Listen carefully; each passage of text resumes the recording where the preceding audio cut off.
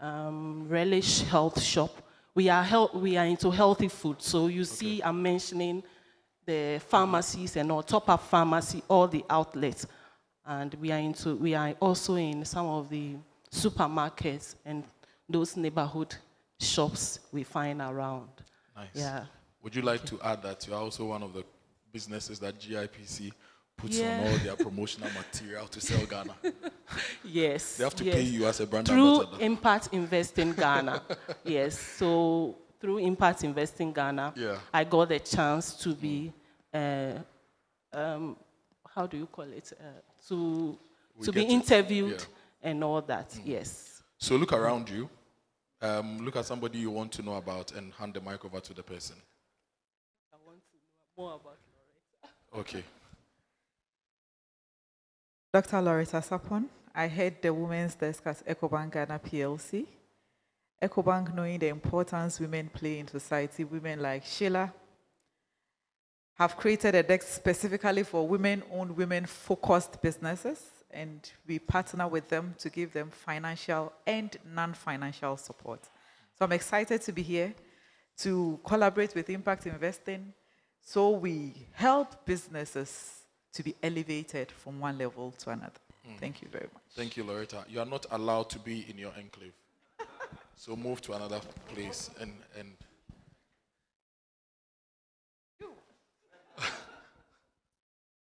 Thank you, Loretta. My name is Hamdia Ismaila, and I work for the Ghana Venture Capital Trust Fund. Um, we also support businesses um, through venture capital funds, and um, we've deployed quite a sizable amount of money in the Ghanaian market. We are a catalytic investor, so we want to see, um, and that's why I'm excited to be here, to see what catalytic investment has done for the promotion of SMEs in Ghana. And I also am an ESCOM member of uh, Impact Investing Ghana. Thank you.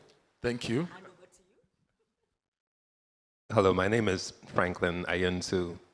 I spent most of my adult life in, in the US after Richard School in Achimota. Um, I uh, am an editor and a writer and um, a personal friend of um, and became involved with um, impact investing in their, their the report that they released earlier this year. So she reached out to me again to help edit this report, and that's how I, I'm involved. Thank you. I think we can do two more before we get into the speeches. So let's see. Hmm. Who's not looking at me?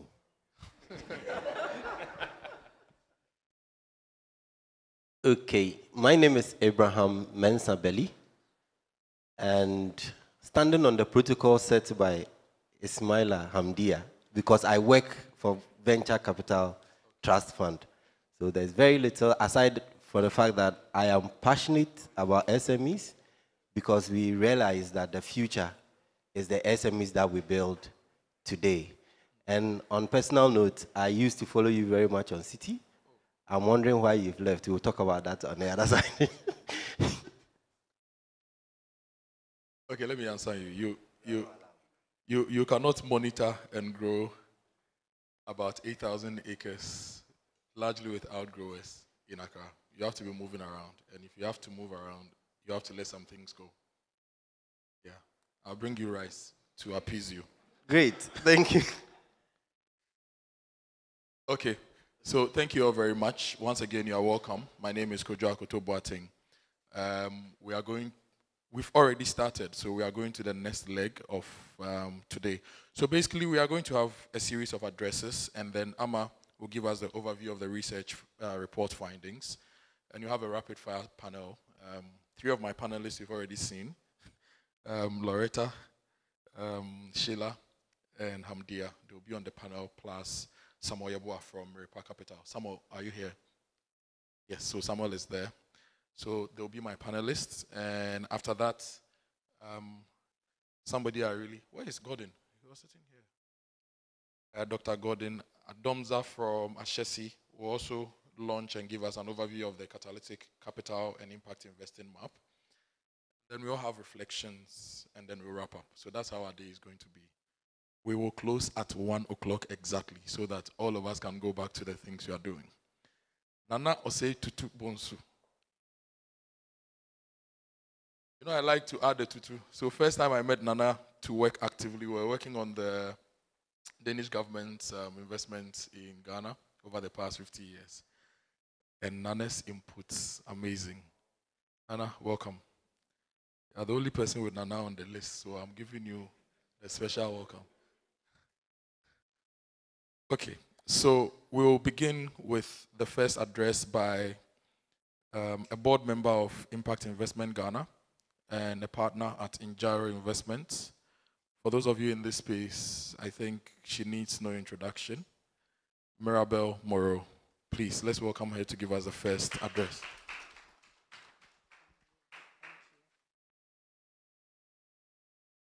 Good morning, distinguished guests, all protocols observed. It's great to be back on the impact investing stage. There are a lot of you here that I know quite well. I've worked with um, over the past decade, um, some about three years, so it's good to be back. I bring you warm greetings from the board of Impact Investing Ghana, where the premier organization um, working on impact investing here in Ghana. Indeed, you've chosen a fantastic way to spend your morning today. It's quite hot outside, um, and I think IIGH has brought us here for a treat. Uh, Secretariat has been hard at work with a broad research team to really bring um, this report um, to us. Today of all days, really, we don't, we don't need anyone to tell us how hard things are.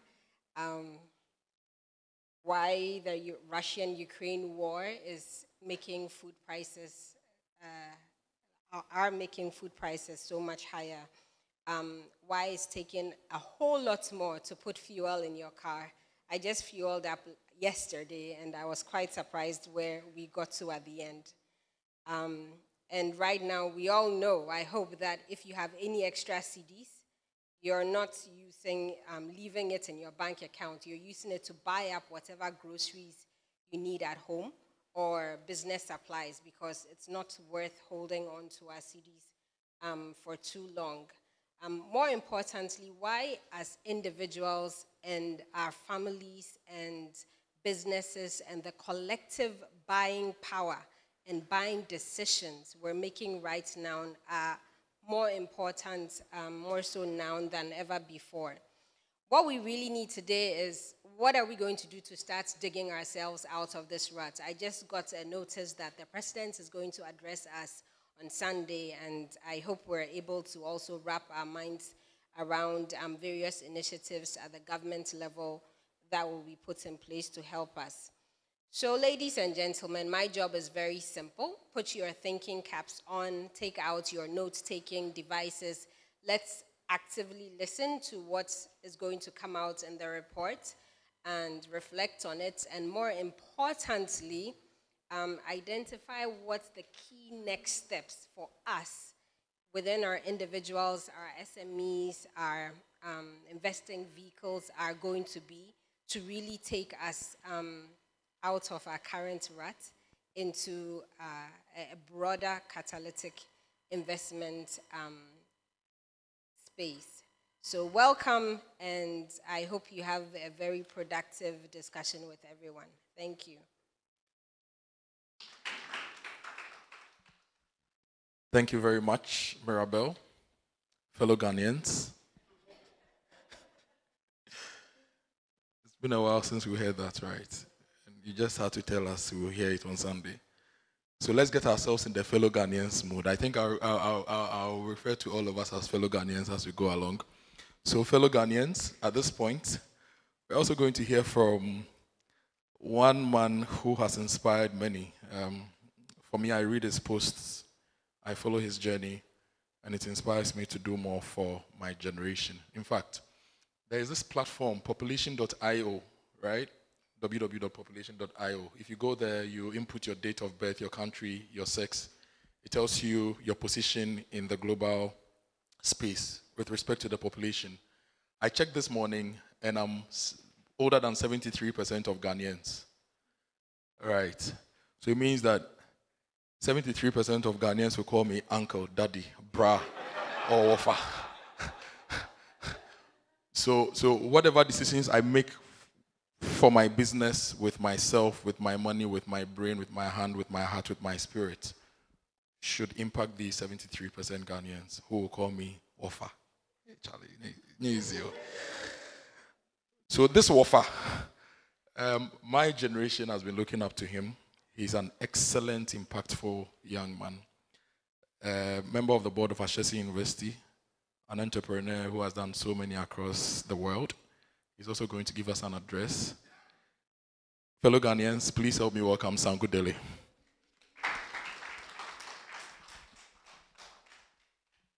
Thank you for the much too kind introduction. Check your momo. it's great to be here. It's great to represent Ashesi University. And it's wonderful for Ashesi to be a part of this. At Ashesi, our mission is to educate ethical entrepreneurial leaders in Africa. And this is something we take very seriously. And this is something that anyone who has interacted with any of our students or alumni will be able to testify. They, they, they really prove what we do at Ashesi, which is a transformative journey in turning these students into ethical entrepreneurial leaders. Um, we've been involved, we have so many programs our, from our venture incubator to the Ghana Climate Innovation Center to others that we put in place to help create this entrepreneurial ecosystem, and we do this also through teaching and research and through collaboration. And this is a clear example of that. Sorry, I think I'm messing with, uh, with that. And why is this very important, this topic of SMEs? Because SMEs are responsible for 90% of business enterprises in Ghana. 90%. 80% of total employment, 60% of GDP, according to some estimates. And when you contextualize this in the fact that across the continent, every year we have 11 million young people joining the labor force to only meet 3 million jobs, it underscores the importance of us really ensuring that we can have these SMEs continue to be the engine of growth. There was a slide earlier I saw that had something about the financing gap. And I chuckled at the earlier comments alluding to the economy. Because part of the problem of that financing gap is the financing is being swallowed by a government that's on a reckless borrowing spree, which crowds out capital for the private sector. So we need our governments to borrow less, and we need the banks to provide more capital to SMEs. And we clearly need catalytic, catalytic capital, which we're going to learn more about especially because a statistic I read in the, in the last UNCTAD report said that 80% of trade takes place in value chains linked to multinational and transnational corporations. 80%. And that is a $20 trillion trade. So there's so much that SMEs are missing out on, yet SMEs continue to be the engine of growth and continue to be the engine of employment in our country and across the continent. So there's no great, especially in this time where we are facing, I, I was, on my drive, there was a debate on radio between my generation and my parents' generation over is this year worse than 1983? You know, the, our, our, parents kept telling us all the time, you people, you, did, you know what we went through in 1983? We, too, we are telling them, do you know what we went through in 2022? So it's, we're, we're clearly in very interesting times, and there's no greater time, I think, than this crisis for this report to be out because there's no greater time that SMEs are going to need support. So thank you all for coming here. Ashesi is very proud to be a part of this, and I hope you all stay engaged and contribute to a wonderful event. Thank you.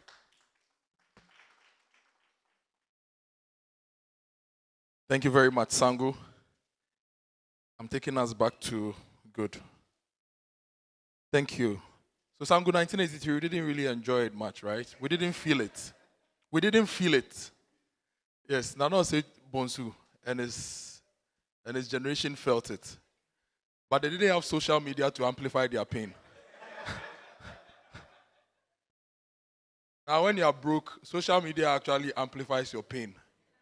Because Charlie, you see some other person who is also broke, but very nicely dressed like Sangu, takes a selfie with a filter and puts it there, then the pressure comes. You, you have to show up.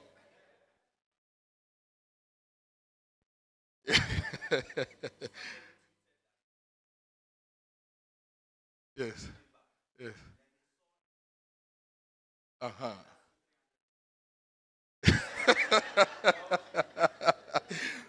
so, so, so at this point, you hear from somebody who really experienced 1983.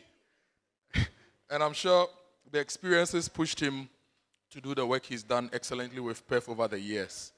Over the years, PEF has been a key leader in reforms in the business sector, um, private enterprises sector, and our economy. And we have the CEO of PEF, who is also a member of the Research Steering Committee. Please help me welcome Nana Osei-Bonsu to give us an address. Give us a 1983 applause for him.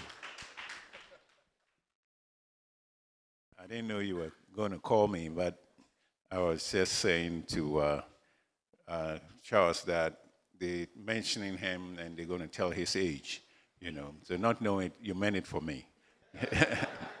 Thank you. It's good to be here. Uh, this whole entire process baffles me. Why? Because we keep talking about access to, access to, funding gaps. Why do we say that? We don't even know if it's available. I would rather say availability of funding. Then you analyze the gaps or, you know, whichever ways it goes. And then we have access. You can't have access to something you don't have. There's no access when there are funding gaps. There's no access when the funding don't exist. So let's tailor our language to exactly what we mean. And we talk about catalytic investments, catalytic capital. What is it? Does it depend on the objective of the investor? Does it depend on the objective of the destination of the funding? Every investment has a catalytic effect. Every investment, regardless of what you think or what you don't think. What does it do? Every investment triggers action by different parties, either by your associates or somebody who is looking for opportunity happens to chance on what you have done and be able to look at that and also take action to. Every investment, no exception, triggers action or counterpart action on different people. So when we're talking about catalytic investment, when we're talking about uh, investment destination, we have to be sure that do we know the mindset or the objective of the investor? Because it makes a big difference. But we are here to listen to the report and to dissect it to make sure that it's meaningful to trigger tomorrow's investment discussion. Because all that we do now is setting the stage for tomorrow's, uh, the rules of engagement, the capital mobilization, the triggers that we look into influence our economic development.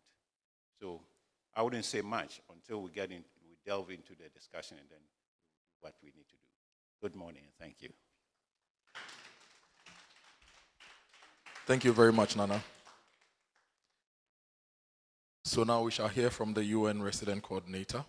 Um, please help me welcome Charles Abani with a round of applause.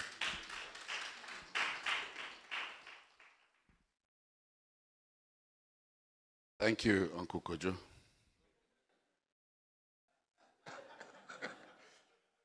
I say that because age is up here. so if you're feeling it, dude, come, let's talk. We'll help you. We'll help you join our generation again. And thank you. I'm so pleased that uh, there are no protocols uh, in the room. Um, so let me also say uh, all protocols uh, duly observed. Um, and it's great to see you here, Nana. Nana is also on, on the steering committee of the UN's most recent cooperation framework which we hope to sign imminently. As is the case with the UN, of course, I have 10 pages to read to you, um, but I won't. I won't. Um, I'll just follow the spirit of, of really the conversation that's going on here. Um, the bottom line is we've supported um, lots of work around 20, between 2020 and 2022 around really how Ghana achieves the sustainable development goals. And clearly financing is a key element to that. And making sure that whether it's a gap you're filling, whether it's access, that, that, this, that this comes through. And certainly we know that for Ghana to achieve its own ambition of self-reliance and also achieve the SDGs, unless businesses grow, nothing is really going to happen. And that 70% of that space is occupied by MSMEs, and probably 70% of that 70% is women-focused businesses. Um, and therefore, that begins to tell us where some of our future investments need to be going um, in terms of where we go. So this is really an exciting and an important um, event, and the UN traditionally is very government-focused. One of the things we have said is that we need to expand that horizon to civil society and the private sector to work constructively with these sectors to, I guess, use the brand leverage of the UN to see what we can do to help in the space. And I think there are a number of things that Impact Investing Ghana has been involved in that we're also connected to. And so for us, um, it's a really important gesture to actually be here and recognize that on some of these issues, the best thing we do is actually to help connect people, not have the skills or the competencies in the space, and that many of you actually have those skills in space. So certainly um, in, in our new generation cooperation framework, our attitude and approach is to really work more in partnership with private sector institutions around these things to see how we use our brand to leverage in significant additional resources to address what I call the twin bottlenecks. On the one hand, where is the money? Uh, but on the other hand, where does the money go? Because money has its own logic. And so how do we ensure that we're playing the best uh, around money's logic?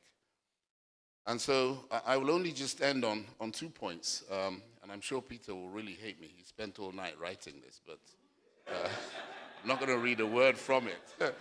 uh, because a lot of these statistics are well known to you. Um, just to say two things for Africa, for this continent, uh, moving forward. One, we have to learn lessons, right? And so we can't keep talking about the lessons of COVID and more recently the ironic lessons of the Russia-Ukraine war. We cannot be a starving continent because someone somewhere else is at war. And so we must turn all of that so-called doom and gloom into opportunity. And I think both the age demographic that we're in, sorry, Kojo, you've passed it, um, and, and basically this sector is the space to actually leverage that. And so let's make sure we're learning those lessons and actually doing business properly. And I also say this not just in terms of businesses, but digital. We stand the chance, and this is UN speak, of being left behind again.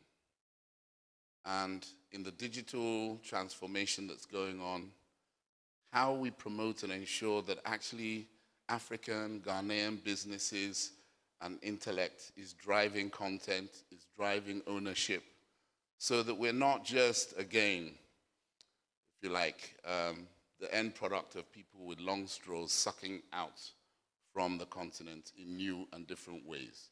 And really, in another generation, people will be talking about that. And the second thing is ownership, really. How are we owning these businesses? And so, what kinds of investments are good investments for the continent, and what kinds of investments are not good investments for the continent? At the global level, we talk significantly and seriously from the Secretary General's level about the need to reform the global financial architecture that operates. It doesn't operate in the interest of least developed countries, particularly those on the African continent. And so let's be mindful as we go into this that we're not excited and running headforth first into a system that reinforces and locks people into poverty, but that we're using the opportunity, the opportunity of the crises, multiple crises and shocks that we face, to re engineer that system so that it works better for us and helps us to gradually balance up the level playing field. So, those would be my two pieces of advocacy. And of course, to thank you uh, um, for all the work that you, you guys are doing, Ama, and to say that we stand ready to collaborate with different organizations uh, from businesses themselves right through to ecosystem actors like yourselves um, over the next three to five years to see what we can contribute as well. Thank you very much. Thank you very much, Charles. Fellow Ghanaians, at this point, we get to hear from the woman who summoned us here. She, she is, hey, Amma, you're my sister's classmate, right? Hey. and your grandma. Because the thing says you are older than 86% of the population.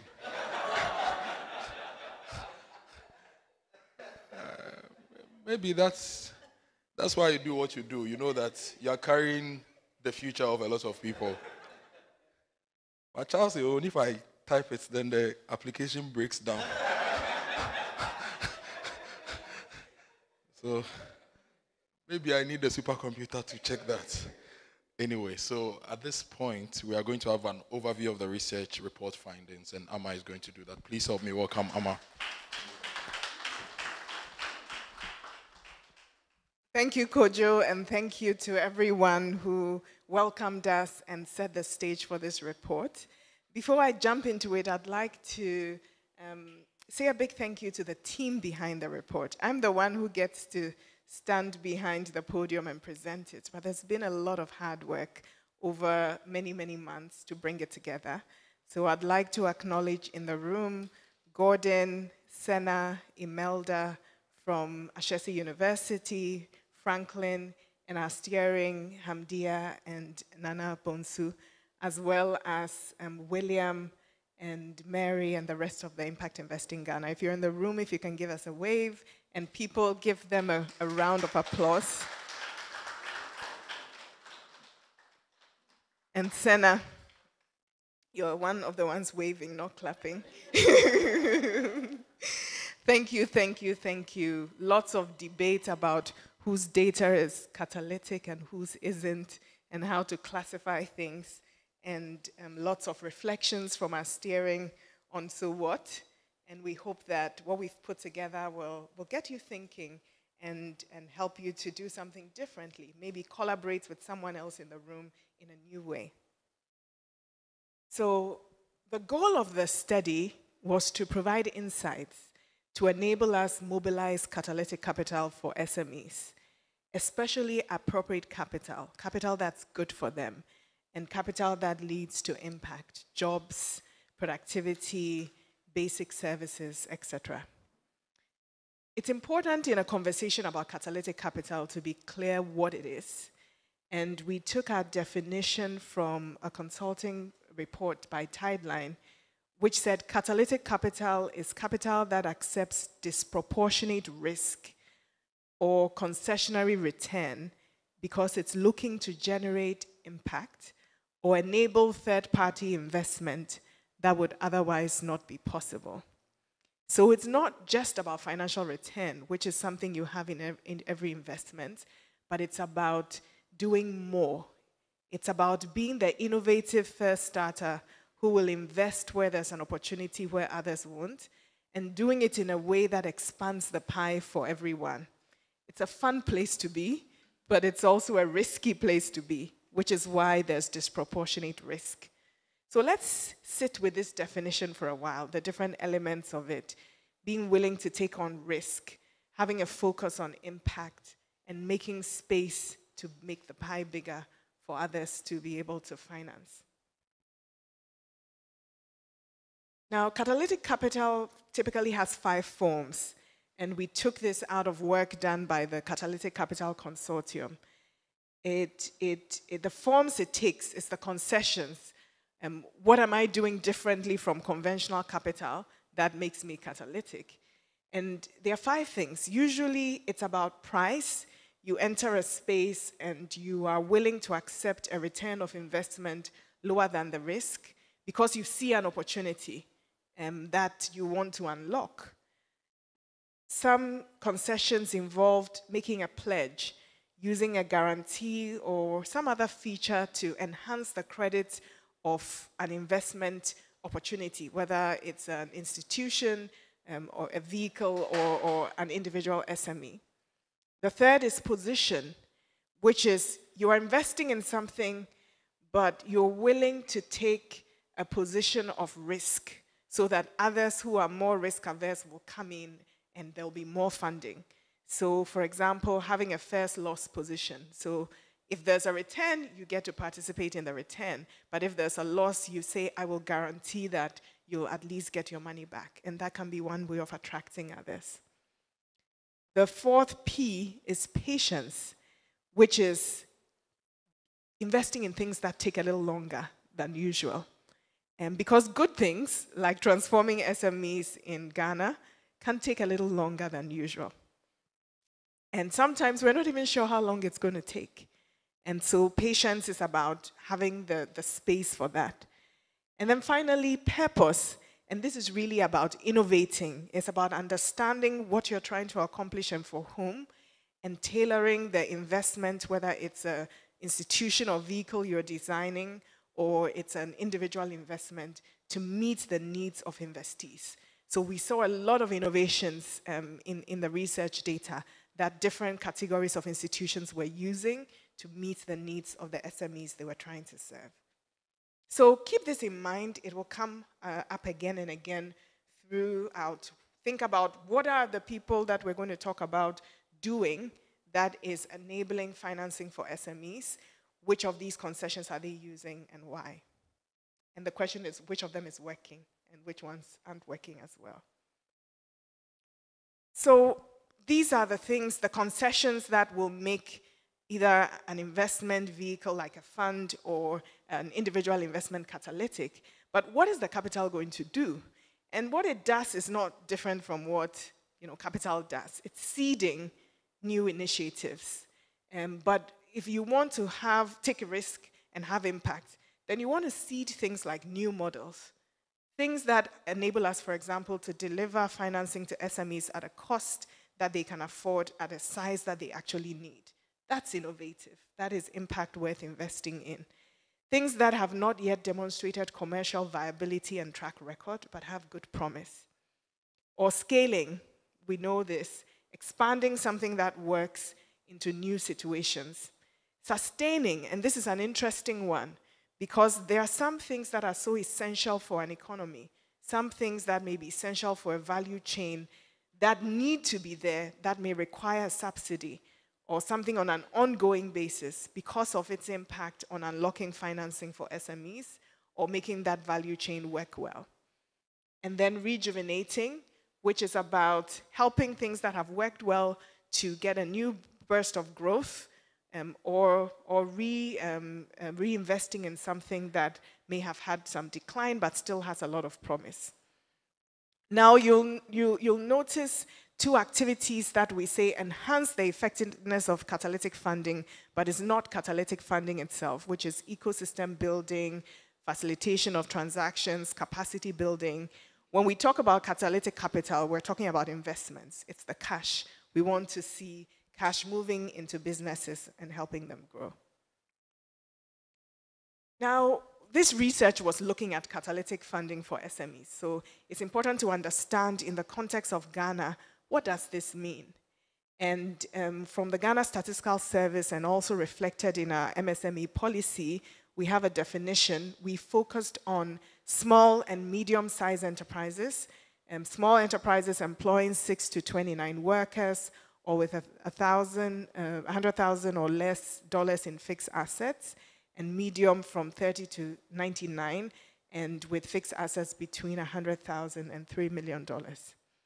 And so when we had data where a program or a vehicle served a range of, of businesses, we, pulled, we, we, we took out the data for the micro businesses and took out the data for the large businesses. And so you may see some things that are maybe a little smaller than what you know because a big chunk of it went to large businesses or to micro businesses. And micro businesses are really important. One of the big debates getting to the end of the research was should we have done that? And, and seeing that quite a few of the businesses were micro, um, there should be more insights for them. This has come up in the intro remarks quite strongly. There's, we don't have enough financing for SMEs. SMEs are also crucial for impact. So I'll skip and tell you a little bit about our research journey. Um, it was a mixture of working with the steering, a Delphi of experts, doing desk research. We interviewed 24 um, investors and 25 investees. We had a survey of 150 investors and 200 investees. And then there was a process of data analysis and validation with a team of experts and a number of workshops. And here we are presenting the results. If you go into the report, it will tell you all the good things we did to make sure there weren't errors and the fact that there are limits to our methodology. So I'll skip that and jump straight into the findings. So catalytic funding for SMEs in Ghana is deployed in three ways. Sometimes you have a catalytic funder investing directly into SMEs. Sometimes you have a catalytic funder investing through a commercial institution like a bank to create a catalytic product. So the institution is a regular institution, but they have a product that's catalytic. And sometimes you have a catalytic funder um, investing in a vehicle that is 100% catalytic, like the Venture Capital Trust Fund. Its whole mission is around catalyzing, and, and they invest in SMEs. To get to the meat of the issue, we identified this was a longitudinal study looking at SME financing schemes between 2004 and 2021. And Nana Bonsu was just sharing that 2004 is the year he came back to Ghana. So um, uh, after a long period of being away. So it's really exciting that this is the, the story of your, the, uh, your journey with, with Ghana. We found 72 SME financing schemes. They were valued at 1.73 billion. And these schemes were a mixture of financing and other stuff, like the ecosystem building training. And in the 1.7 billion, 1.16 billion was capital invested in SMEs. And out of that, 949 million was catalytic. It was willing to take on risk, it had clear impact goals. And one of the things we found out is schemes are not very good at tracking how they achieve their outcomes, especially if they actually unlock additional funding. So only 10 of these schemes had verifiable data on the third party funding they had enabled. Some had data, but we couldn't verify, they couldn't give us um, stronger verification that we could include. And for those 10 schemes, they could show 552 million in additional funding. This is five times the total value of those, those schemes. So you can see immediately that purposeful design um, led to additional income. It was interesting to see, though, that 74 of percent of the additional funding was unlocked by schemes that made capital investments. So capacity building alone didn't seem to be as effective as capacity building combined with um, catalytic capital investments or the investments by themselves. And that was an interesting point. So who's, who's in, this, in this family of catalytic investors? The private sector was the main investor. And we classified investor because these were schemes designed by private sector entities. Sometimes they sought funding from others. But to avoid double counting, we looked at who designed the initiative. And so sometimes if they got a loan, they were still responsible for the loan. And so we classified it according to the entity. So if the government of Ghana got a loan from the World Bank, that was a government of Ghana program. And so you see private sector at the top, and then DFIs, government, international development agencies, and foundations. And this gives you a sense of who's a small part of the pie and can be increased. Um, it's good to say that for foundations, um, a lot of the foundations were funding programs designed by others. And so, in consultation with them, we classified those programs um, according to who had designed them, raised the money for them, was responsible for them. And so, the foundation bucket is a little bigger than what you see because they are sort of a, a, um, a source. But it was very hard. There's a lot of double counts. There's a lot of money flowing and back and forth through many entities. And so um, we needed to adjust for that. Funding grew five times over the period. Um, if you look at the, the FAIRs between 2004 and 20, 2009, and then getting to 2021, it was a five-fold increase, and it was pretty steady over the, the period. But we needed to understand more. And so we tried to identify individual investment deals where we could get access to data so we could understand more. And we identified 113 investment deals valued at 438 million. The average deal size was 2 million. And development finance institutions had a higher average, 8 million. And there were investments by fund managers that were a little lower, 1.5 million. So this may be driven by who has deal data in a shareable form, um, but th these were the deals that we could identify. Um, it could be that some of the smaller deals are harder to disaggregate. So the question is, what concessions are these catalytic investors willing to take? And most of them took two concessions or more. The average was two, and at the top was purpose. Purpose and patience were at the top. And usually they were responding to short investment tenors. The commercial investment tenors were pretty short and, and to specific needs of SMEs. For example, the need to have a smaller investment size or the lack of collateral. So they would design something into the instrument to enable an SME to access it without collateral, or they would go with a smaller investment size than a, a commercial investor would look at. And you can see that position that is guarantees, about 18% were doing that. And price, or having a, a lower price, was um, only 8% of investors were willing to take a return lower than the market rates. Um, in a market where our rates are above normal, that was interesting to see. Um, and the few that did, the 8%, their targets were pretty close to the market rates. They were not, not many were significantly lower. There were few, and the report um, has quite a few case studies that um, describe some of these. No one was helping revamp declining SMEs. So is all this catalyzing leading to anything good? Is the question. And the majority of investors, um, 85%, and investees um, felt that catalytic investments yielded significant positive outcomes. And we saw that each dollar mobilized at least three to seven third party investments in SMEs. And this came from the cases. So when we had access to cases, we were able to do a deep analysis around how much had been mobilized. And you'll see some of the, the, the, the so the, the case analysis of the data. So here's investee company, and here is their revenue before and after the investment.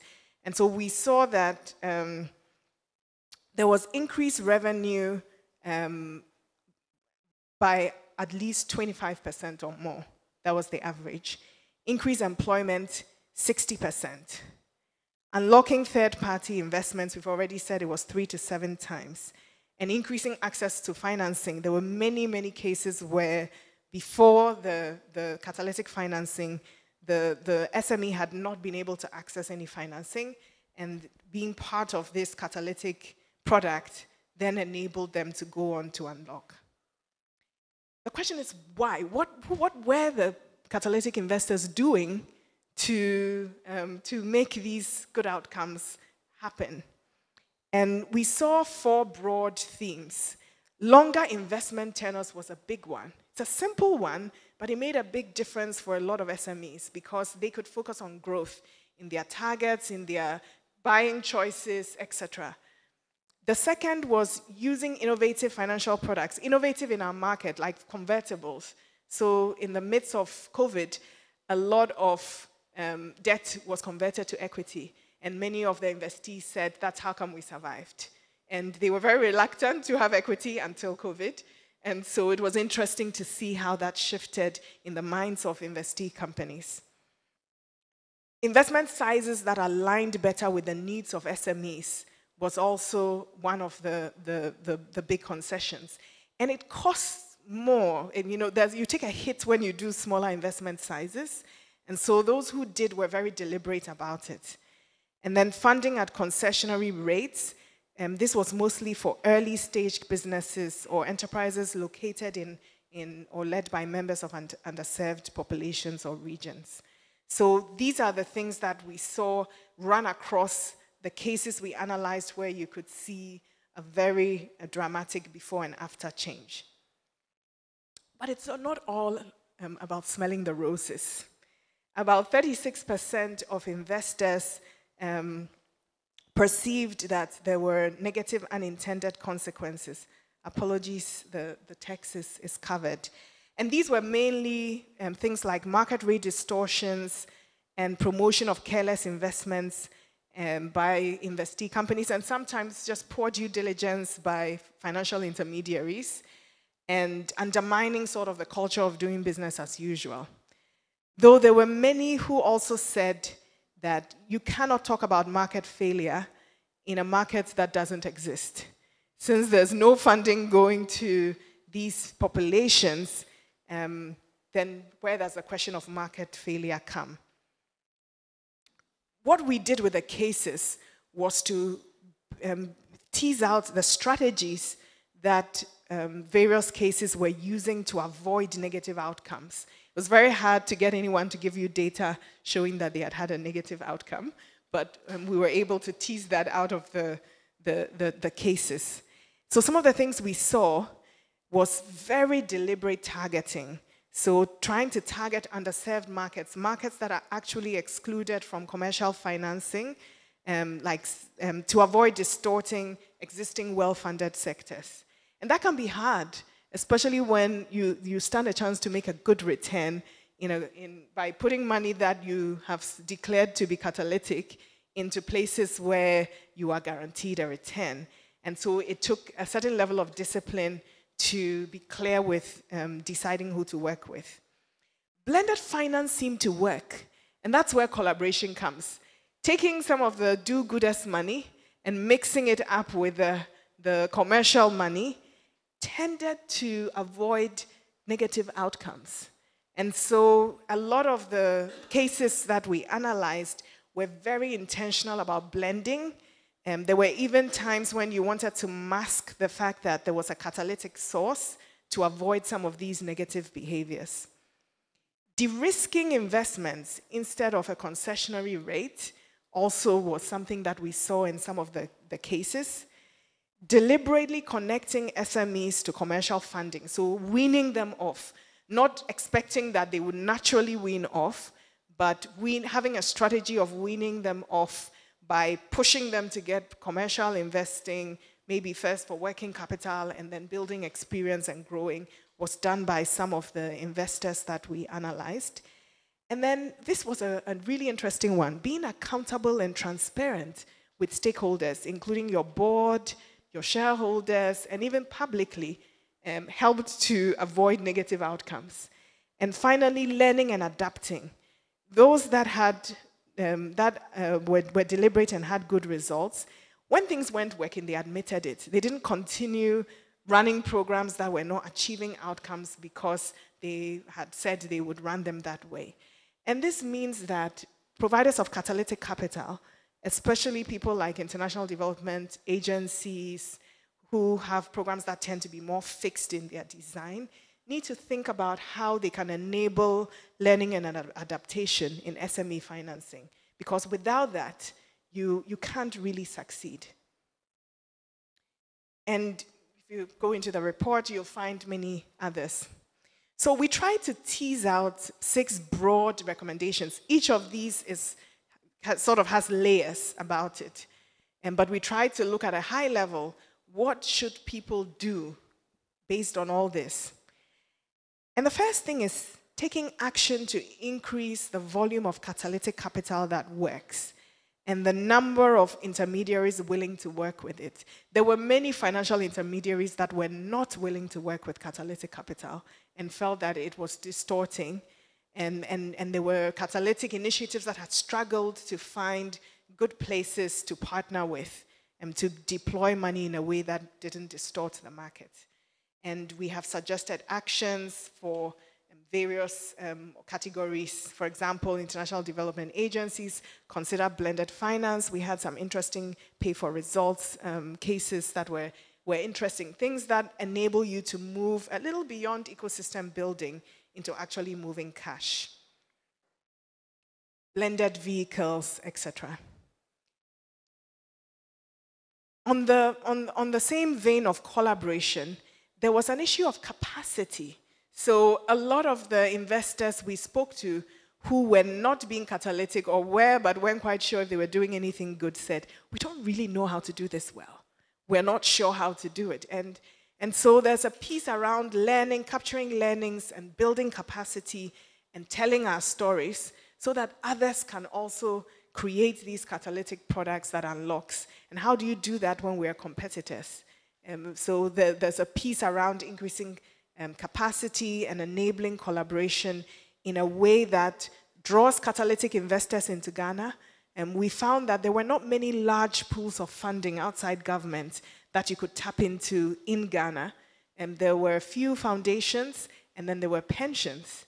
But beyond that, you, there weren't many large pools of money that you could tap into, which meant that Ghana needs to begin to look at how do we draw other catalytic investors into the space especially because foreign exchange was the biggest risk across board. Everybody said that a lot of the catalytic investors were foreign, and exchange risk was one of the major barriers that prevented them from um, really accessing a catalytic vehicle.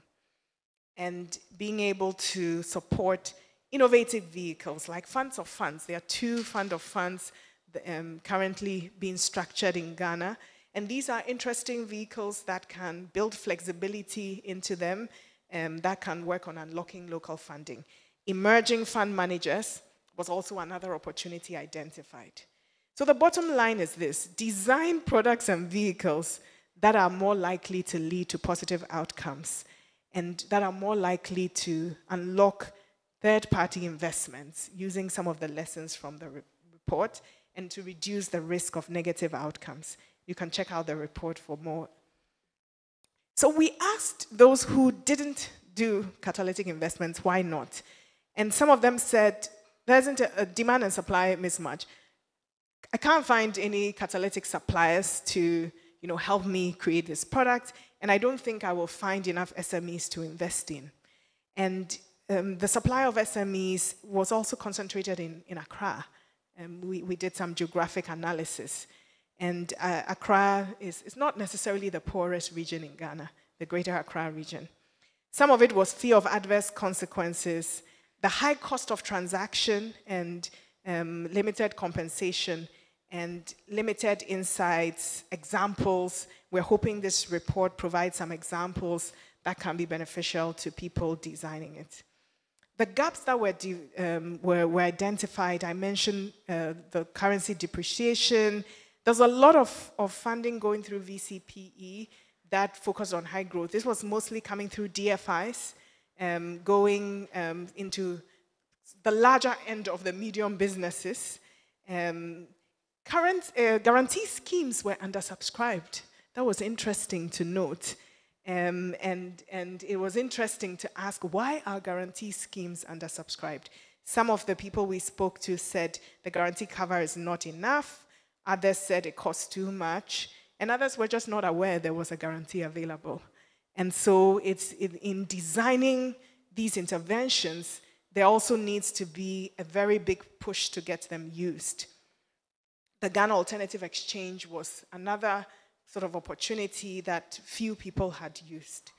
So I'm going to end here um, because we want you to read the report and um, we want to be able to have a good discussion about some of these initial findings. The whole idea was to whet your appetite.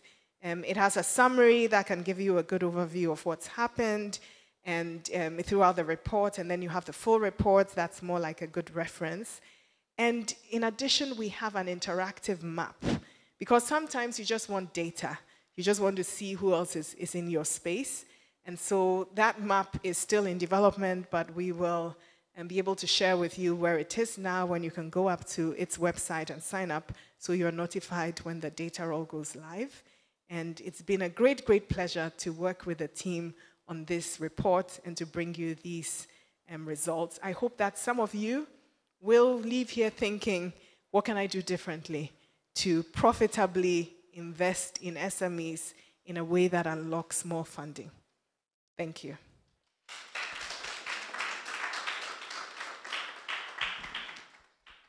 Thank you very much, Amma. Please, another round of applause for her. So now we've been given a summary, right, of what is in the report. It's a good time to have a conversation about what to do, expectations, and how to how to get better. And at this point, I'd like to invite my panelists. We are just going to spend about 20 minutes to talk about our problems and our solutions. And Hamdia Ismaila is the General Manager of Venture Capital Trust Fund. Please um, help me welcome her with a round of applause. Hamdia, please take this seat. Sheila Elom Eni is the CEO of We Soy Company Limited. Please help me welcome her as well. We also have Dr. Loretta Sapong, head of the Women's Desk Ecobank Ghana Limited. Please help me welcome her as well.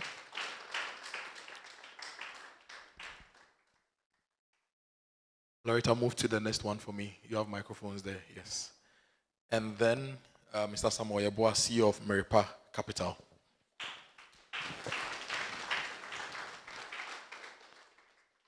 Samuel.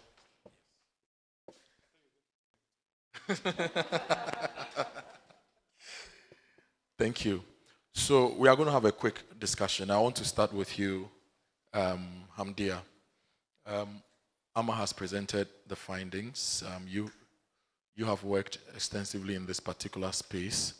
So um, how do you think we can drive more catalytic capital investments to support SME growth in the country?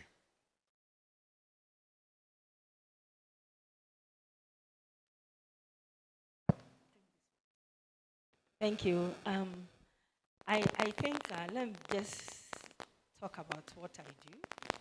Um, we actually started as a catalytic investor, and that's what we do. And we invest in funds, we invest in pool funds, but that's where we think that we can leverage. So I work for Venture Capital Trust Fund, and so far our leverage is about one to four. And when you compare us with our peers, we're actually doing well. So what we need to do is to have more such more where we can leverage more funding so that when we blend it, we are able to have people taking first loss. Venture capital trust fund usually will take a first loss position. And sometimes when we talk about first loss, people think like, oh, really? We really haven't lost money. It's just for somebody to hear that there's a first loss, there's a layer in this funding structure where there is somebody who will take the losses when they happen. I think what we haven't we don't have in the market currently is hedging. And most of the money is coming in our forex. And so if we can also have another hedging facility to help, we can unlock more funding uh, for the market. Yeah. Thank you very much. I'll come to Loretta. So a lot of SMEs and majority of these are women-led or women-founded. And if you look at the reports, these businesses don't get the funding. It is those led by us that get the funding. You had a women's desk. How do you think we can target these women-led businesses and give them the support they need to scale? Thank you very much. And indeed, rightly said, women form majority of the SME sector. And if we are to embark on education, let our women entrepreneurs, women-focused, women-owned businesses know that these funds are available if we are able to also change mindset to say that, yes, We want to grow our businesses, but we need support. Because most of the time, these women owned, women focused businesses, we want to do it ourselves. I have done it like this. Let me. We need to change that mindset to embrace change and to be, have the appetite to grow our businesses. And if this education and awareness creation are available, then we'll help our women owned, women focused. Let me come to you, Sheila. Um, we've been on a lot of platforms. Um, your story has been told far and wide about how you got here. What do you think you did right, to position you for funding, for growth, and for the impact that you are making? And how can all other businesses tap into that? Okay, I'll say that. Um,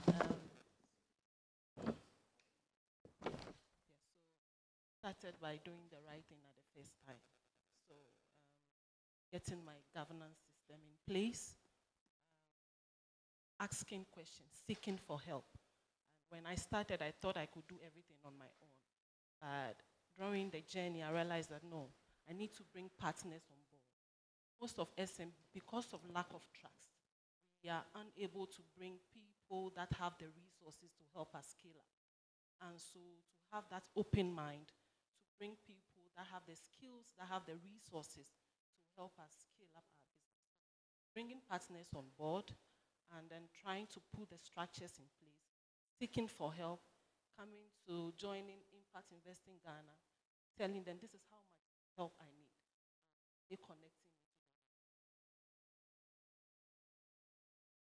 Let me come to you, Mr. Eboa. Um, so early this year, we we raised funds. We did maize, we did soy, we did rice. I said, oh, let's get a loan and build ourselves a rice mill. And then we did that, 1.5 ton per hour. I think it cost us $70,000 to buy the equipment. And then we produced so much rice, we said, oh, let's get money to buy another mill. Same $70,000, we can't afford it because our cedi is is epileptic. Now, there are a lot of SMEs and businesses that I've dealt with. They are afraid to even go for funding because now you get the money and two days later it's all gone. There are institutions that are also willing to fund businesses and play their role, but the general ecosystem doesn't make a lot of things make sense. In fact, somebody once told me that the Ghanaian business environment has a mind of its own. No formula, no parameter, no, nothing works within this particular space. So, from where you are, what is really needed in the ecosystem to enable businesses, to enable the whole environment to, to access catalytic capital, to make these available, and to make things make sense in, in our economy? Okay. It's working? Can you hear me? So thank you very much for that question. Now the, the, the, the, case study, I'll call it a case study you present is, is typical of most entrepreneurs, uh, the challenges that most entrepreneurs face now.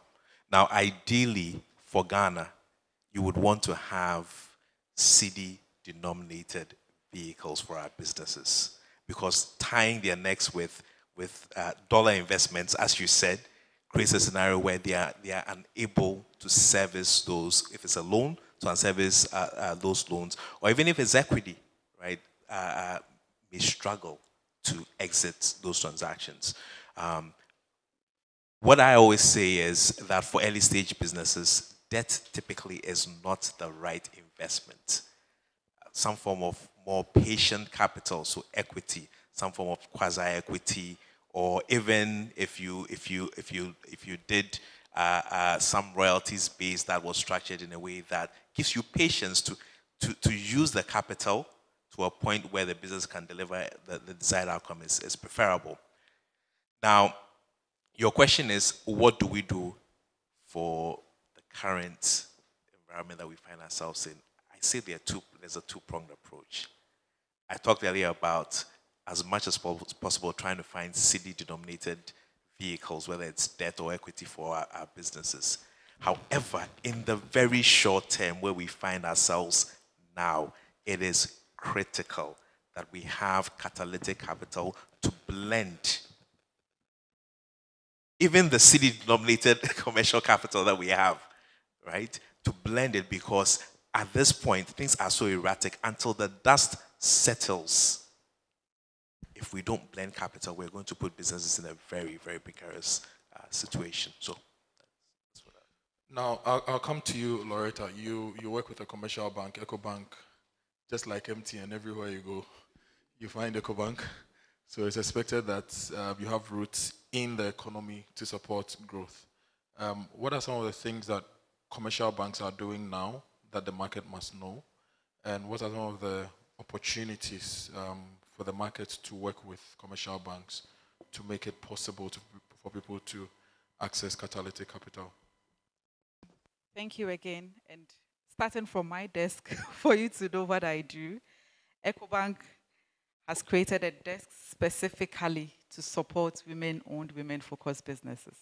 And so we are targeting four categories or areas. Any business that is owned by a woman, or even with 51% majority being a woman, any business that is being managed by a woman. The third category, any business with 30% or more as female employees, or even 20% in shareholding being women. And then the last one, companies producing or manufacturing for women.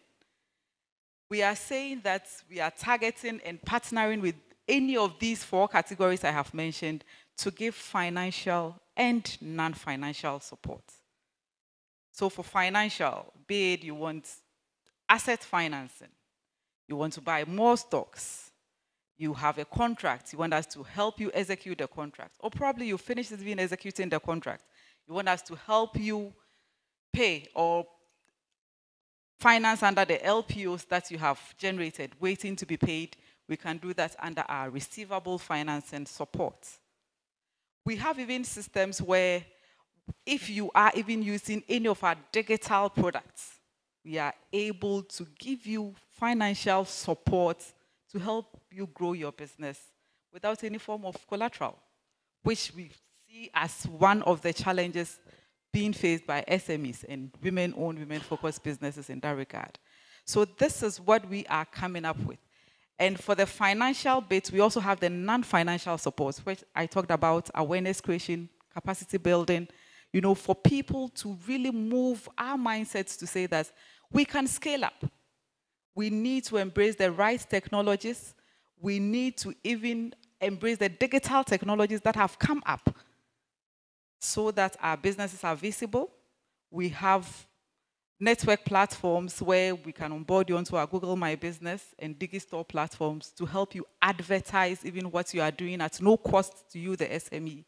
And so these, among many others, are what we, we have a desk specifically for agribusiness.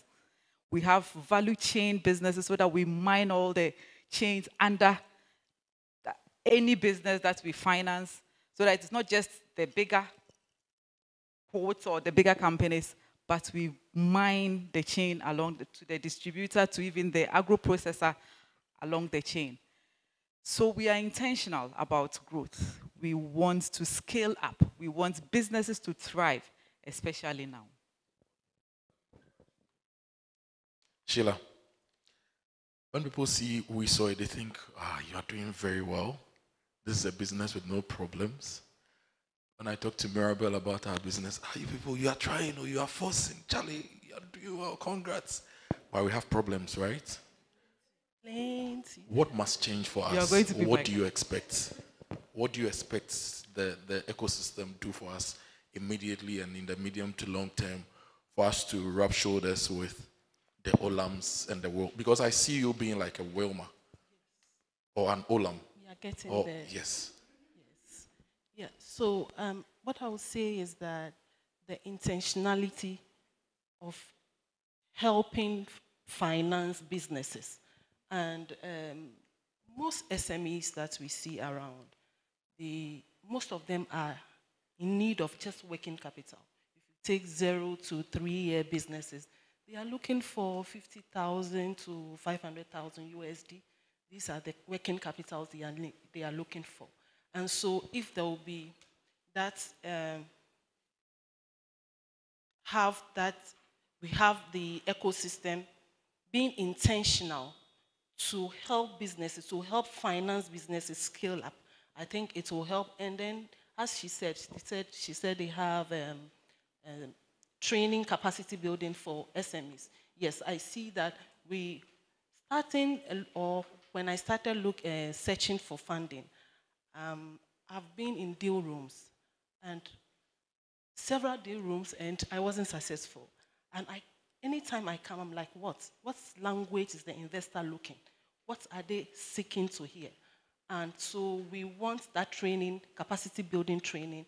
What is it that the investor is looking to see? What is it that they want to hear? They want to see us do so that we will be investor ready to help us scale up, give us that money to scale up our business. So the purpose, being purposeful to help grow businesses, putting a product that will appeal to us so that when we knock at their doors, you'll say, yes, we have this for you. You can have it. Yes. Thank you. So I'll go around and take final thoughts um, from the panel, um, starting with you, Samuel, then I'll end with Hamdia. Well, what I'll say is for us, the time is actually ripe for us to access catalytic capital, uh, whether it's in the blended form, um, because if we do not at this point stabilize our businesses, uh, when, as you said, the cedi is what's very erratic now, right? If we don't stabilize our business right now, we're going to create problems for productivity wise, for employment. And so it's, it's time that we really look at how do we mobilize the, I'll first of all talk about relevant uh, uh, um, catalytic capital for the various uh, spectrum of, of needs that we have. Sheila talked about needing uh, capital and going to a number of deal rooms and not being successful, right? How do we ensure that we are matching her to the right form of capital that she needs at this stage in her business? And how are we ensuring that the full spectrum of capital providers that serve the different, different uh, uh, uh, segments of the market are also provided with the needed catalytic support at this time so that they can also uh, support businesses um, in this very critical time. Thank you, Loretta. The best form of empowerment is economic power. And so I will say that we must let SMEs and all of us seated here today, including AMES reports, we must make it available and out there for people to know that these funds are available, these support exists, so that it does not really end here, but it's available and accessible to the general economy. I will encourage my SMEs, including Sheila, which I'm pulling on board from today, to also approach us. It's a collaborative effort. So once we work together, once we have the right framework to say that I want to scale up, this is what I'm doing, and five years from today, I, this is what, and I'm happy you are saying that you are the, the next Olams and the Unilevers that we want to see. So we are intentional. We know where we want to go, and then we walk the journey together. Together we can. Together we can. Um, Sheila? And then Hamdia. Yeah, so um, I'll say that we are also here to grow the business. And um, in the ecosystem, we want to see our investors helping us, holding our hands to do this together, to grow Ghana and uh, make the place, make Ghana a better place for us all. Thank you. Thank you, Hamdia. Yes, thank you. Um, what I want to say is that yes, um, as an investor, we have to be very intentional about about what we want to see so the impact you want to see tomorrow, you have to be intentional about it today whilst you are deploying the capital. We need a lot of catalytic capital to be able to blend uh, the situation in which we find ourselves. We don't want the dust to settle and it settles down with all our SMEs. Wash them away. So this is the time. We need to do it now. And I think it starts now. We, we don't have time. Thank you. Thank you. And for me, please hold the applause. I'll call for it. I was at the Young Economic Forum on Monday to present on agribusiness. And for me, I think that most of these SMEs are in the agribusiness space and manufacturing space. And if you look at agribusiness and light manufacturing, we import close to $8 billion worth of things in this particular space. Now, with all that is happening around the world, the importers are struggling. I'll use rice as an example. Somebody who wouldn't buy our rice for 40 Ghana cedis last year is begging us to sell it to him for 65 for him to rip back to sell for 75. They cannot import. This, we are in crisis, but this is also a very good opportunity for us to look at supporting SMEs to produce, to bridge the gap.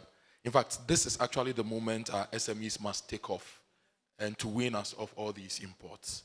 $8 billion worth of imports, let's target 10% of that within the next one year to enable SMEs produce this. And we are creating wealth, and you'll all be happy. So now, please put your hands together for my panelists. As they take their seats, thank you very much. And we will now invite Dr. Gordon Adomdza from Ashesi University. He's a research team member to take us through the investing, the impact investing map. Doc.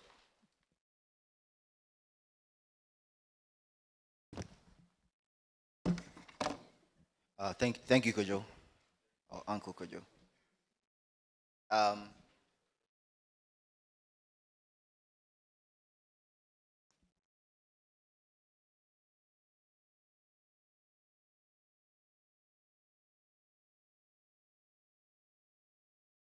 all right. All right.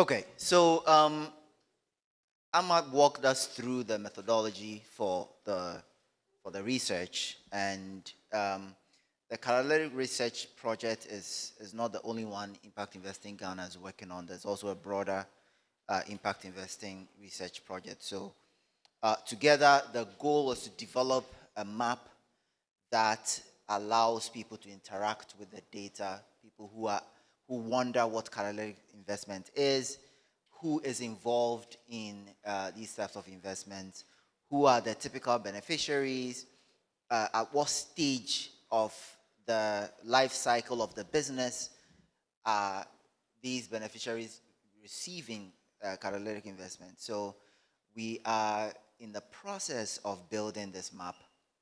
So we had a debate about whether we should uh, finish building it before we show it but you know, at Ashesi we pride ourselves in experimentation. So we thought we will show snippets of it, you know, because uh, we we need to know how people would use it, right? How would our uncles like Kojo use it, and our grandparents and so forth be able to use it? So when it comes, uh, when we launch it, it's going to have uh, two sort of areas, if you will. Maybe we'll go to color looking um, the catalytic map. Um, the concept is faceted search. So you search, you um, filter, and then things move around. So we have the map system here. Don't worry about the, the dot in Ivory Coast. Uh, it's still in development.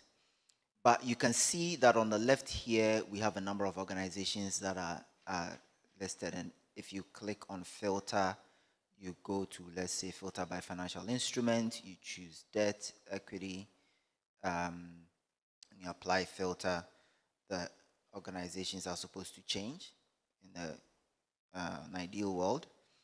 Um, you can filter by sector as well, so you can sort of choose the different sectors. Um, we, these sectors are represented by um, or uh, drawn from the different catalytic fi financing programs that we saw. So you could filter by this and say, well, maybe I invest in education or I invest in um, health and I want to see who else is doing uh, investments in the space.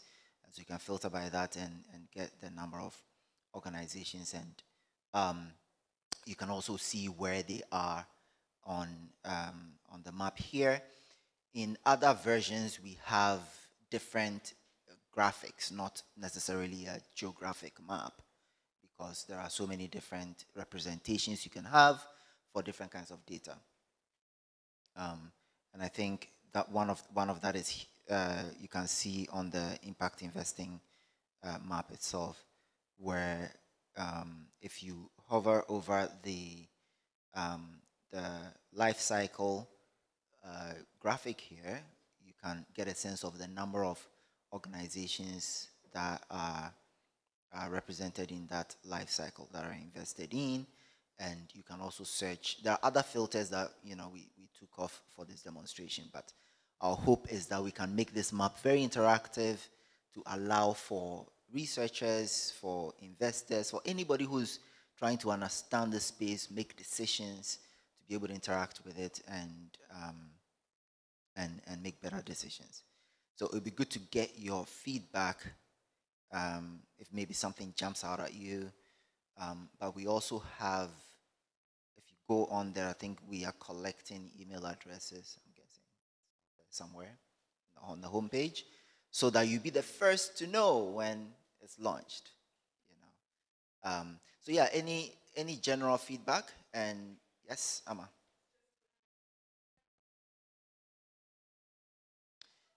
It's GhanaInvestingMap.com, and it's live now, right? Put your email address there. It's a little way of testing as well. So even if you're like, oh, I'll wait, you can still put your email address there so that we can you help us test uh, the functionality and also what um, the content. So any other? Yes, sir.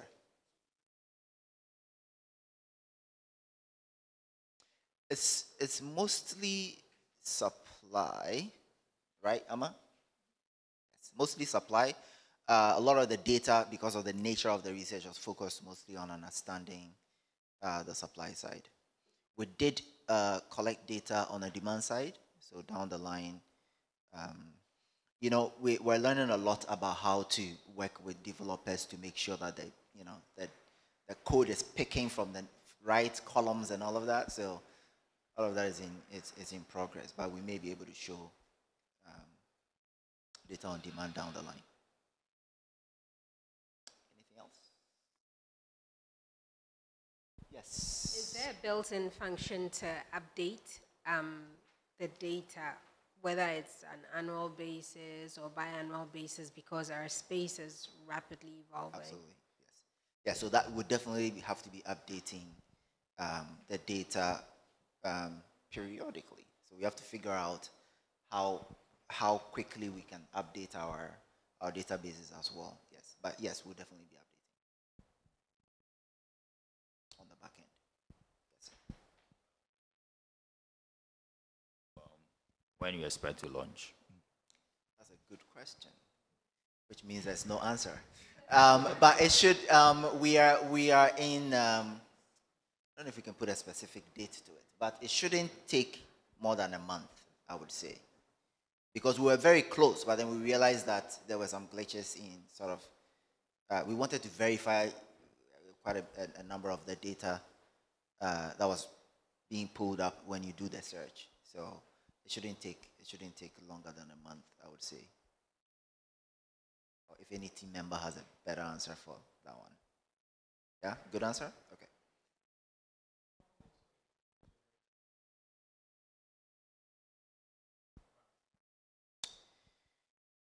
Um,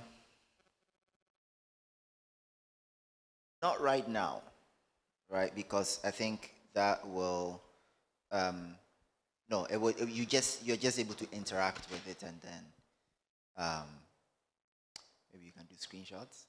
Um, but but I think definitely the next level will be to figure out how to write code to generate what it, what you're pulling up in a format that also makes sense for you. But I I will be lying to you if I tell you that we're we've gotten there.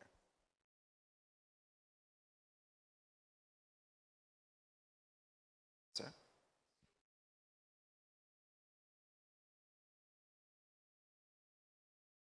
Hello, my name is Isaac from Wangara Green Ventures. Um, so does it include or will it include investors or investment funds that are not incorporated in Ghana, so they could be operating from Europe but do investments in Ghana, or consider MSMEs that are operating in Ghana?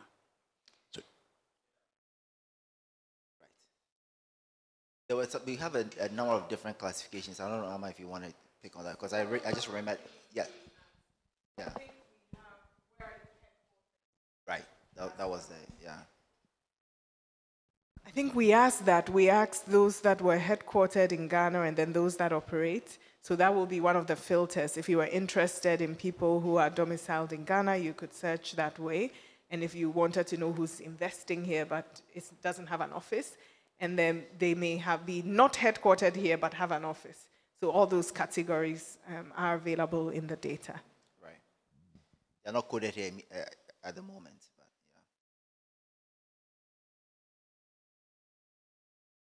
Yeah. Like you see, as you can see, the stage of investment is just one of the many uh, visuals that we developed. Any others? So maybe I can blend this into the next session, which um, also, uh, oh, Kojo, did you want to say something first? Okay. It was to get maybe general feedback, and I think I would I will pick it from Kojo's last submission when he said that maybe this is the time for SMEs to shine, especially for those who are not able to uh, import, let's say. There are a lot of investors here. Um, you, you probably have been doing catalytic investments um, or you have not been doing. If you if you have been doing it, the question is, what are you? How catalytic are you now, or going to be in, in this current uh, volatile sort of space? How are you supporting your uh, investees? Yes, Sangu. There's an African proverb that says, "A man and a goat can be friends, but the goat should never pay the first visit." Okay we need to have, we need to be clear about what we want to achieve. If we want to sit and have a nice conversation and take pictures and leave, we can do that.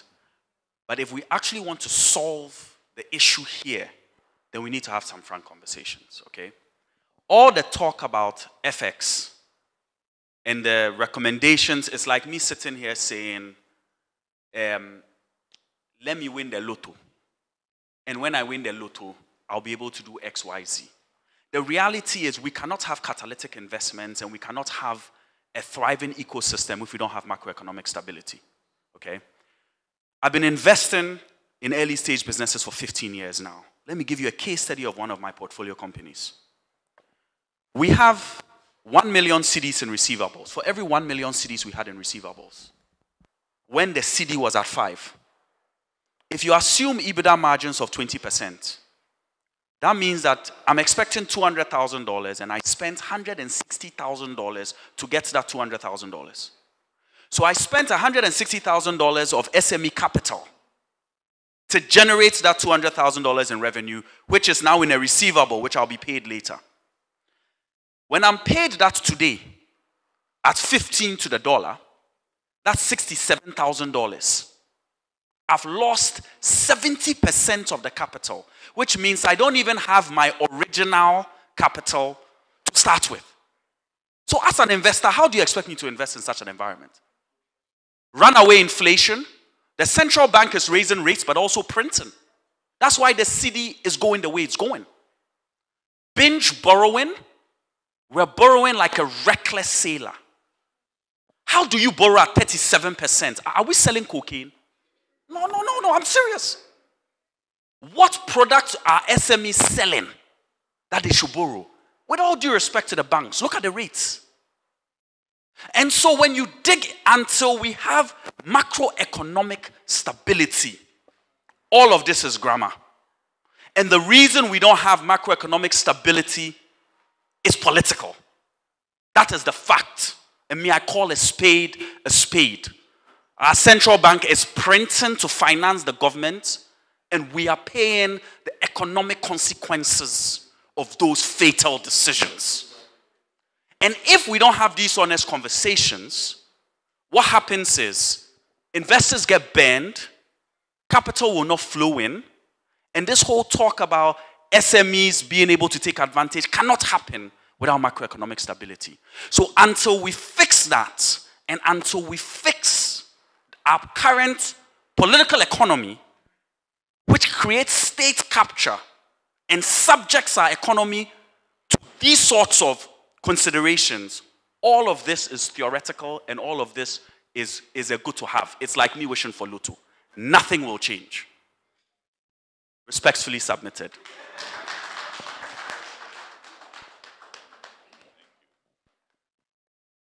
Uh, may I, please? Thank you. Do I share your sentiments? Possibly some of them. The others are just one word dollar, the US dollar. We don't have enough. Why has that happened? Over the years, we have had the worst investment policy ever. Invest in Ghana, repatriate your profits home anytime you want. People bring in five cedis or five dollars, and they claim that they invested about 100 million because nobody verified the amount they're bringing in.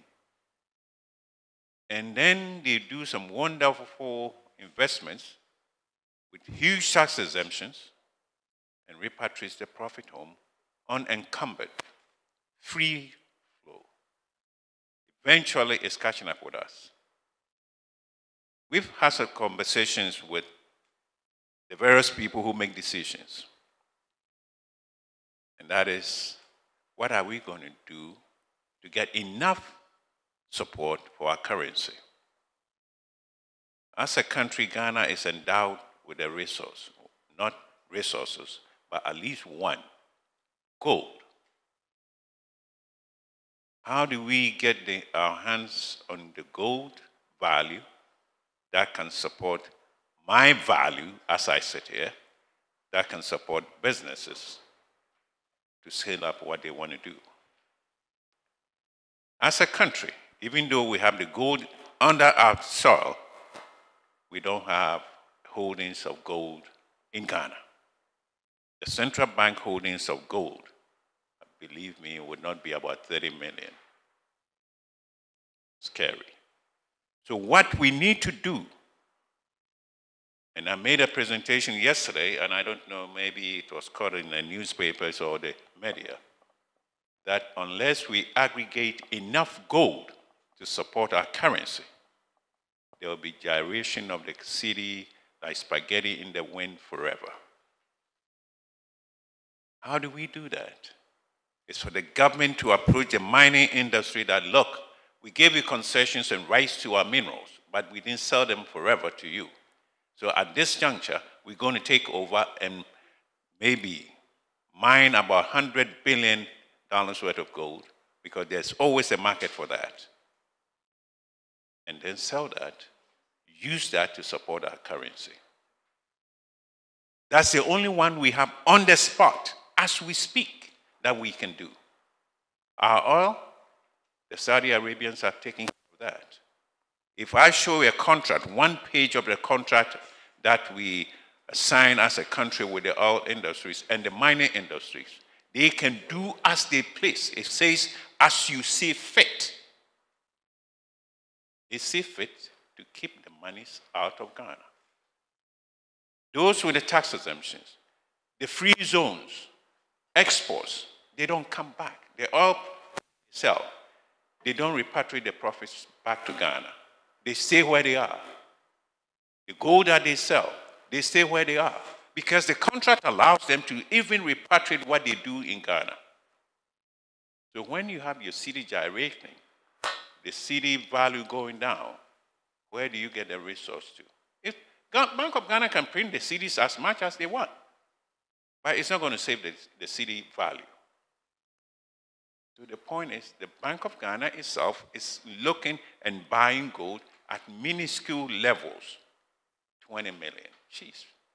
Every time they can hire somewhere on the street and buy gold at 20 million. We're talking about billions, which we don't have. So the essence is for government to step up and engage in discussions to take advantage. In South American countries, they will what? Confiscate the mines. Immediately. This is what we need. What this is what we're going to do. Once we're done, we give it back to you. It happens. But we are so civilized. We believe in the Western civilization. Then the uh, the market play. Oh, Ghana, we are law abiding, we're democratic, and uh, the country is sinking and sinking fast. Give me two weeks.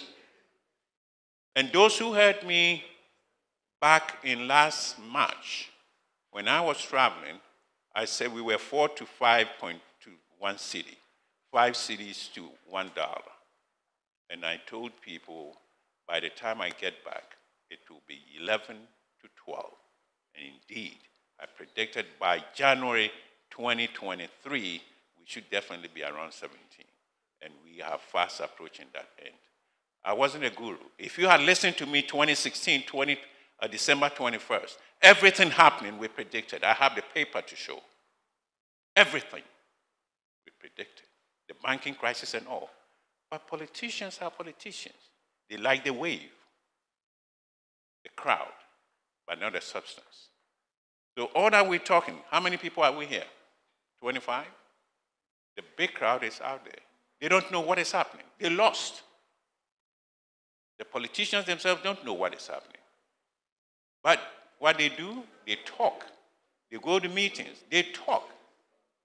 I we volunteered yesterday to assist in a dialogue platform for them to, to enable them to understand and appreciate what our businesses are going through. A business person, as I said, was doing a product at 10 cedis to the, uh, that was 4.2 or 4.5 at that time. And his margin of profitability is one cedi, and so he's selling at 11. Now 11 cedis to $1 is what? 14 or 17 cedis. So he can't even make ends meet. His cost of production, he can't even recover. How do you expect him? And I heard Kojo or somebody said that this is a time for SMEs. Believe me, this is not a time for SMEs. Because the SMEs have to get a resource, have to get a balance act, have to get the money for them to be able to do. This is just a conversation. Thank you.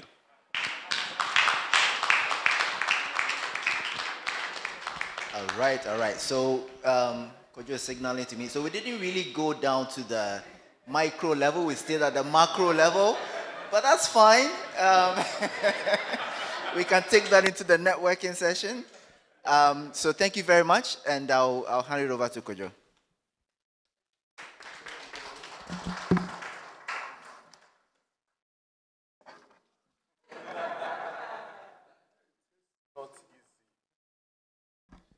But Vim.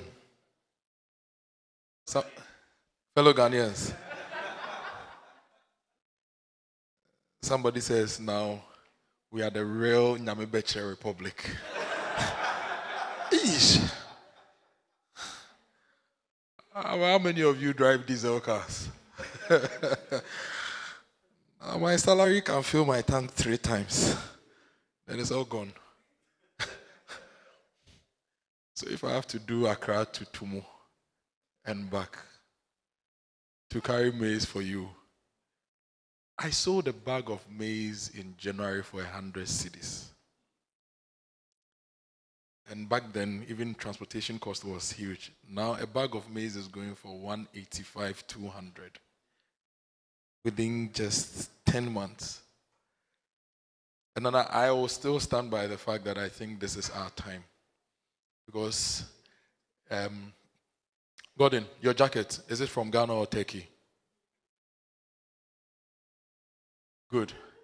So if the importer is having challenges with the, with the dollar, the guy who sews my suits can give it to you at a better rate. if I'm there, gives him some small capital. so this is our time.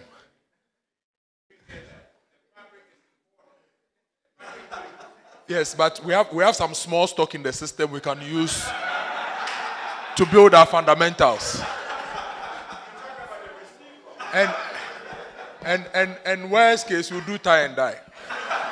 Tie and die suits. Oh, at least the dye no, some is we make some here. Hey, nyame betre, fellow Ghanaians. hmm. Hamdia will give us the closing remarks. Please, let's welcome Hamdia. the closing.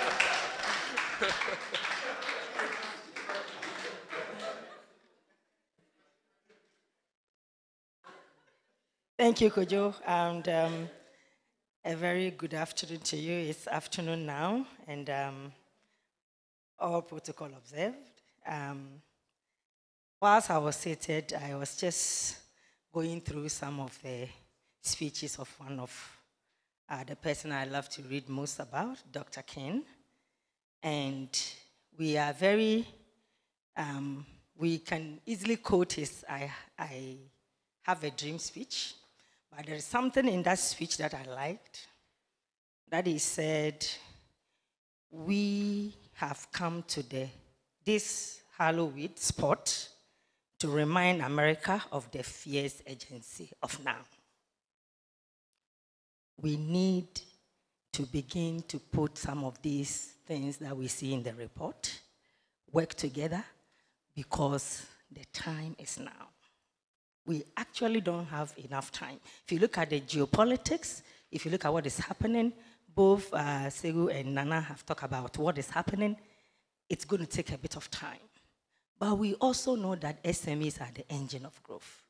If we are able to do what it takes, we can probably do much better and end much better than we think it is. Government can play a role, but I think private sector is the engine of growth. And we need to be able to find ways to support private sector. And one of the ways of supporting private sector is through ensuring that there is enough funding for the private sector, encouraging, you know, um, emerging ideas, innovative ideas to scaling. I have always said that most of our problems in Ghana is that the businesses are so small. We keep talking about jobs. The businesses are small to recruit more people. When we put in money and scale the businesses, as you scale, you need more people to help you to, to, to go to places. And so that is where we can create the jobs. So the businesses must necessarily scale. And we need to be able to blend the capital in such a way that some people, yes, are patient, others want it today. So, how do we blend the patient and those who want it today to be able to make sure that we give the SME room to grow? Because that is what I think is very much needed in the economy. So um, I've been encouraged. Um, if you look at what's happening, it's really very discouraging. I also bought fuel yesterday. And when I got the usual when I, said, oh, fill the tank, the thing was trying to say, hey, my friend,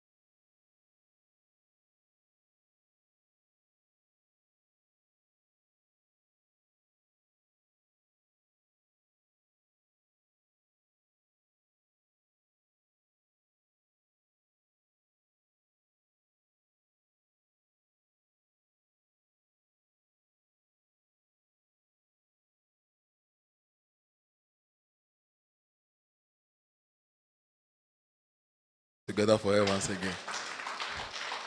You go and park your vehicle at the fuel station and say, fill the tank. hey. My, my, my tank capacity is 170 liters. So at, at the former 15 cedis per liter, I was paying about 2,500 cedis to fill my tank.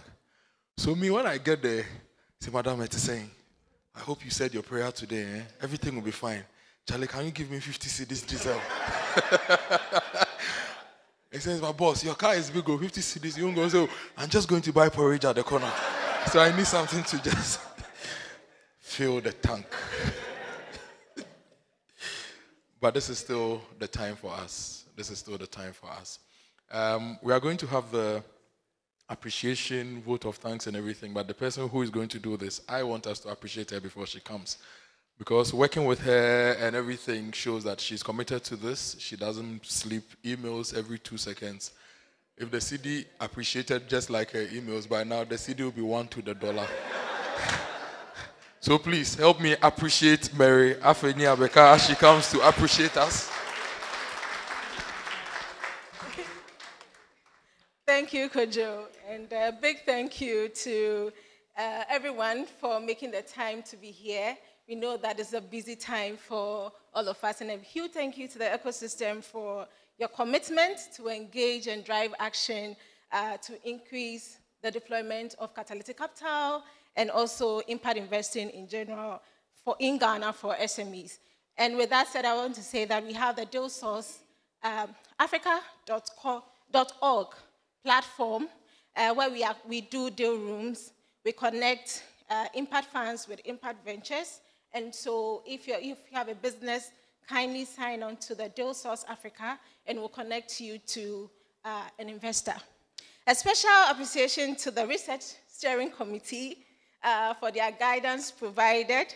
Uh, Nana Osei Bonsu, the CEO of PEF, uh, Madam Hamdia Ismaila, the Managing Director for VCTF, and uh, Prof. Angela Owusu Ansah, uh, Provost of uh, Ashesi University. Also to the research stakeholder group um, that participated in the interviews, validation workshop. We have the Chamber of Corporate Trustees, uh, Ghana Security Industry, Ghana Bankers Association, uh, Resource for Development, Palladium Group, among others. Um, also acknowledge the contribution and input from Mr. Zebero Salifu and Emmanuel Enyam and Joseph Otu for providing an industry perspective and taking a look at the report. Uh, and again, we want to acknowledge the tireless efforts of the research team for making this uh, report come into life and the map.